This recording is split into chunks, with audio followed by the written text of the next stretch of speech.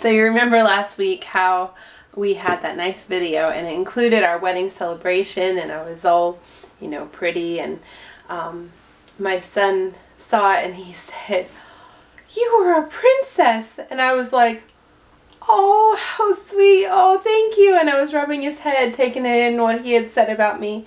And then all of a sudden he said, and now you are not.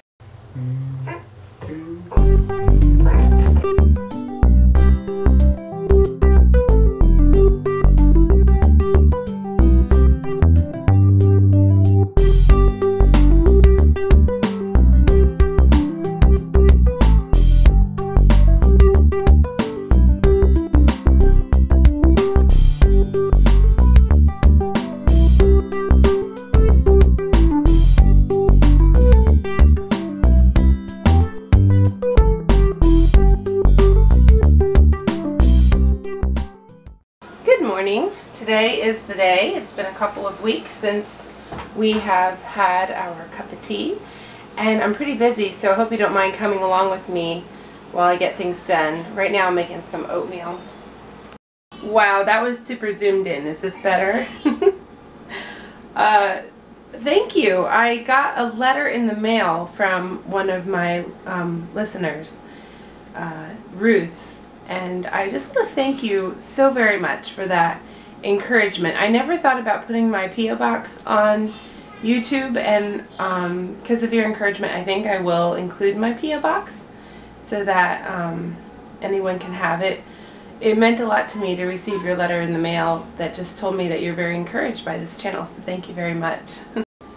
the oatmeal is looking more ready, but I think I need to turn up the temperature and let it really boil a little bit. Doing your schoolwork? Mhm. you like we, math, don't you? Do, what do we have here in uh, 58? Circle the even numbers and look at the ones place to see if it's even or not. So 58, 8 is an even number, so that's that's an even number altogether. What, 8? Because 8 is an even number, so 58 is an even number. Okay. So in the very end of his letter in um, 1 Peter 5, 12 through the end, it says, Through Silvanus, our faithful brother, for so I regard him, I have written to you briefly, exhorting and testifying that this is the true grace of God. Stand firm in it. She who is in Babylon, chosen together with you, sends you greetings, and so does my son Mark. Greet one another with a kiss of love. Peace be to you all who are in Christ. Um, this is just a great finish to the letter, just reminding them to stand firm in the truth.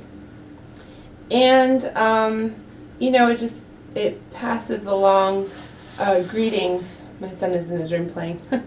it passes along greetings to um, everyone, you know, expressing love to each other and just saying how to greet each other, even though I know we don't tend to greet each other with a kiss unless you're like from Europe, and my family is, so they do actually kiss each other on the cheek a lot. But um, but the, but that's not. I don't think the point anymore for today because this is probably more of a cultural thing. But the point is, there's love between us, and um, and it says peace be to you all who are in Christ, and that is what we have in Christ is peace forgiveness for our sins, um, just the, the, the peace that passes understanding, the knowledge that we're saved, and we have peace with God. And um, so there's no better place to be or better thing to have than peace with Christ. And so that is a great way to end the letter um, that Peter wrote. And there's another letter, Second Peter. I don't know if we're going to go into it next or not. I haven't decided what we're going to get into next, but maybe you have some suggestions. Um, but I just think that it serves us today to remember the value of the things that are most important, and that is the gospel, and that other people know the gospel, that we know the gospel, that we stand firm in the truth and in um, uh, faith in Christ, and that we don't make the things of this world most important, but that we make loving one another most important. so I leave that with you as you bless your family and friends around you, and that you have the right focus yourself on things as you go through your week.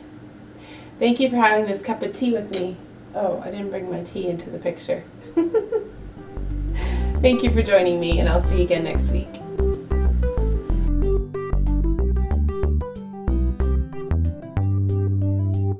I just realized I never sipped my tea on camera. Two more, and you have There.